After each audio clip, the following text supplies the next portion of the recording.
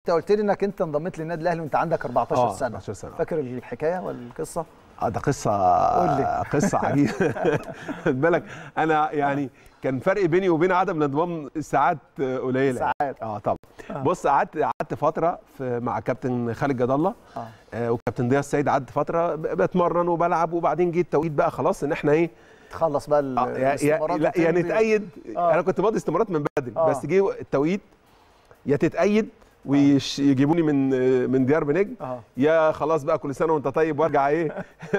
وارجع ألعب في. الحارة تاني. المهم إيه كان أنا فاكر التوقيت طبعا كنا يوم خميس. آه. والتسجيل يوم ال- السبت. آه، هناك في ديار بنجم. آه. وخلاص الدوري هيبتدي يوم ال- الأسبوع اللي بعديه على طول مفيش وقت. يعني. آه. وكل شوية يكلموني في الدرب ها هتلعب في الأهلي ولا هترجع لنا؟ هت... وأنا طبعا إيه؟ آه. مكسوف أكلم كابتن خالد جد الله. آه. بس خلاص بقينا الخميس. آخر. بعد السبت. كنت مكسوف تكلم كابتن خالد؟ مكسوفه ك- طب- يعني طب قول قالوا كده. ألو؟ ألو. يا كابتن خالد. كابتن خالد جد الله؟ كنت كنت مكسوف تكلم الكابتن خالد قلت لك الكابتن خالد على التليفون. ازيك يا أسامة؟ أخبارك إيه؟ ازيك يا أبو حميد؟ ازيك يا ازيك كابتن يا كابتن خالد؟ حضرتك؟ كتير يا كابتن خالد. حبيبي منورين أنتوا الاثنين وسعيد بيكم وسعيد وأنا بتفرج عليكم. الله يخليك كابتن. مش هقول بقى أنتوا ولادي يعني أنتوا طبعا يا كابتن. يعني. طبعا انت. صاحب فضل علينا عليا طبعا وعلى بلال طبعا وتعلمنا منك كتير يا كابتن آه بعد الله سبحانه وتعالى صاحب فضل عليا كبير آه. جدا جدا جدا جدا. يعني لا جدا انت تستاهل كل آه والله يا كابتن يعني لسه بحكي لاسامه عايزين نسمع منك الحكاية بقى يا كابتن خالد الخميس والعربية لما آه. لما. عملت حادثة ما هو انت بص انت عشان ابن حلال الله يخليك يا كابتن آه، ربنا برضو وقفني في طريقك. ومهم جدا نقول إن المدرب لما بيكون مدرب شخصيته سوية بتفرق كتير جدا.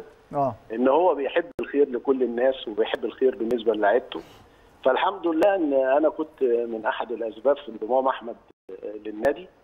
وهو بصراحة شرفني هو من ساعة ما جه. آه. الله يخليك ربنا يكرمك يعني كان هداف الفرقة وهداف منتخب مصر وعشان أنتوا جبتوا لقطة لمنتخب مصر للناشئين سنة 97 يا أسامة اللي آه. كان ماسكه ال- الله يرحمه المرحوم ده محمد. الدكتور محمد علي. دكتور محمد محمد آه. علي آه. المنتخب ده كان ثمانية من فرقة النادي الأهلي من فرقته. صح صح. يعني منتخب مصر ثمانية لعيبة أساسيين هم اللي بيلعب بيلعبوا بيمثلوا مصر. آه. آه، كانوا من ال- من الفرقة فرقة كانت آه، محترمة. وزي ما أحمد بقى أنا يعني مش مش كنت متوقع له. الحمد لله الواحد عشان عينيه كويسة. فبيعرف اللعيب اللي هيكمل من بدري من بدري قوي. آه، طالما بتتوافر فيه ال- ال- المواصفات السلوكية والأخلاق. ولما بتزيد بقى الفنيات بتفرق كتير جدا. فكانت الفرقة فيها لعيبة هاني سعيد وأحمد بلال كان كان كان جيل ما شاء الله مميز يا كابتن خالد.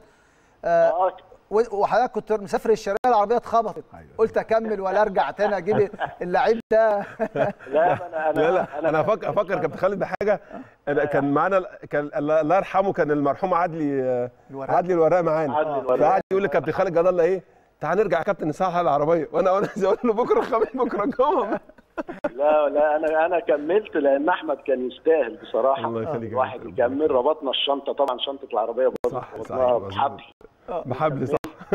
وربنا وفقني الحمد لله جبت له الاستغناء ولعب معانا أول ماتش. كان المقاولين العرب كان عندنا في مدينة نصر. صح جاب جونين وكسبنا مش فاكر ثلاثة أو أربعة صفر. كسبنا ثلاثة كابتن آه. صح مظبوط. آه كسبنا ثلاثة وكلمت محمد علي بقى آه وكان دكتور محمد علي قاعد في الماتش ده بيتفرج صح؟ آه أنا اللي جبته. وأنا كلمته قلت له تعالى في راس حربة هتاخده هو طول ما أنت ماسك المنتخب هو اللي هيكسبك. وفعلا ضم أحمد وأحمد بقى بقى أحمد إجوان بعد كده. الله يخليك. وأسامة بقى أنا برضه لازم أقول كلمتين برضه. ما هو أسامة من من الناس اللي إن أنا برضه ضميته. أول واحد ضمه لمنتخب مصر الناشئين. طبعا صح وأسامة برضه كان من الهدافين الكبار قوي من. اللعيبة قوي. فأنا سعيد بيكم جدا بصراحة وأنا بتفرج عليكم وعمال أفتكركم بقى من زمان. وأنا يعني أسعد يا كابتن. خالد إن حضرتك موجود معانا. يعني فرصة طبعا وحضرتك موجود معانا وحضرتك نجم كبير. عايز أيوة. أسألك عن النهائي الأفريقي القمة ما بين الأهلي والزمالك شايف المباراة إزاي؟ ويعني أبرز الرسائل والنصائح اللي ممكن الكابتن خالد جد الله يوجهها للاعبي النادي الأهلي. والله يعني أنا مش مش هتكلم كتير عشان ما أخدش الوقت أحمد معاك في في البرنامج ولكن هتكلم في ثلاث نقط بسرعة جدا. آه، مباراة طبعا آه، إحنا كمصريين نتمنى إن إحنا نشوفها على مستوى يشرفنا كمصريين ويشرف البلد. بغض النظر عن النتيجة. دي نمرة واحد. نمرة اتنين بقى أنا بقى كراجل أهلاوي ومحب طبعا آه، لنادينا الحبيب النادي الأهلي بتمنى التوفيق للن- لل- لل- لل- والفوز لينا بإذن الله. ولكن آه، الماتش دون ملوش أي معايير وملوش أي مقاييس. والشطارة معلش أنا هقول كلمة يمكن أنت بقى وأحمد تقعدوا تفكروا فيها بعد كده. آه. الشطارة من أي مدير فني لأن المفروض من المفترض أي مدير فني بيشتغل بيكون ربنا مديله موهبة غير الناس المشجعين أو المشاهدين يعني يقول يكون عنده أفكار غير اللي هي موجودة عند الناس. فإزاي وإحنا بنلاعب نادي الزمالك؟ نمرة واحد لازم نحترم فرقة نادي الزمالك لأن هم عندهم مواطن قوة في الفرقة ومواطن ضعف. ولكن الشطارة من المدير الفني بتاعنا بإذن الله إزاي يوقف نقط القوة اللي في نادي الزمالك وإزاي يحول نقط القوة دي لنقط ضعف؟ يعني هي محتاجة بقى شوية تفكير منكم. إزاي ان أنا اوقف نقاط القوة في الفريق المنافس اللي إحنا هنلعبه؟ وبعد ما اوقف نقاط القوة دي إزاي احول بقى نقاط القوة دي لنقاط ضعف؟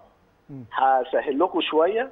واحد زي اشرف بن شرقي ده بيبقى لعيب كورة كويس الهجمات المرتده هايل. إزاي أنا اوقفه وامنعه ان هو يعمل اي هجمة مرتده عليا؟ مظبوط. وفي نفس الوقت يبقى أنا كده وقفت نقطة قوة. مم. ونقطة القوة دي إزاي أحولها لنقطة ضعف إن أنا أهاجم من ناحيته وأنا معايا الكوره تمام. يبقى هو ده ده ده ده المنطلق أو الفكر بتاع الماتشات الكبيرة وبتاع الماتشات اللي هي بتجيب بطولات. أتمنى بإذن الله التوفيق للاعبتنا وأنا عارف إن هم هيكونوا على قد المسؤولية وهيكونوا مركزين وبإذن الله يعملوا ماتش كويس ويجيبوا لنا الكاس بإذن الله. وإحنا كابتن خالد بنشكرك وأكيد دي نصائح مهمة ورسائل مهمة للاعبي النادي الأهلي بنشكر الكابتن خالد جد الله نجم الأهلي السابق. شكرا يا حبيبي شكرا يا كابتن خالد شكرا. شكرا يا اسامه رجعك للذكريات القديمة. يا كابتن خالد. عاوز أقول لك آه، وإحنا في الطريق كنا ده كنا بلبيس رايحين الطريق طريق بلبيس يعني صحراوي. طريق بلبيس الصحراوي يعني. آه. فلما العربيه اتخبطت كان معنا كابتن ناجي برضو تقريبا. آه. فلقينا كابتن ع... المهندس الله يرحمه سيادة العميد عدلي الوراق. آه. كابتن خالد يلا نرجع. الصفقه دي شكلها كده بدايتها. آه يعني العربيات خبطت. فيلا نرجع تاني. يلا يا كابتن خالد نرجع. وبعدين كابتن خالد طبعا يعني العربية اتخبطت وخبطة جامدة. فاكيد متنرفز يعني. فيبص كده وعمال يلف حوالين العربية. طب يعمل إيه؟ والتاني عارف إيه؟ يلا يا كابتن خالد نرجع. وأنا قاعد ورا. قاعد في الكرسي اللي ورا. حرام عليك. هتضيعني. فيعني دي, دي, دي بيبين العين الحلوة في ال- ال- المدرب بتاع الناشئين وكمان إصراره لما يكون بيؤمن صحيح. بموهبة صغيرة عنده. صحيح. دايما النجم لما بيكبر بيفتكر كل الذكريات دي.